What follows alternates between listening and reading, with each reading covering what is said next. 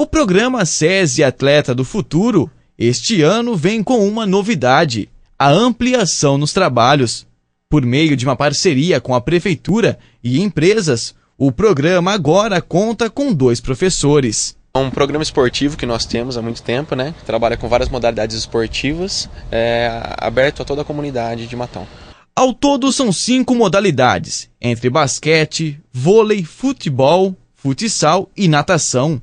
O objetivo é incentivar e desenvolver o gosto pelo esporte em crianças e jovens de 6 a 17 anos. Para participar do programa, é necessário fazer a inscrição. Que venham acompanhados os pais, os responsáveis, né, trazendo todas as documentações, é, RG, é, comprovante de endereço e principalmente no caso da, de todas as modalidades, um exame dermatológico, um exame clínico e o exame dermatológico no caso da modalidade da natação apenas.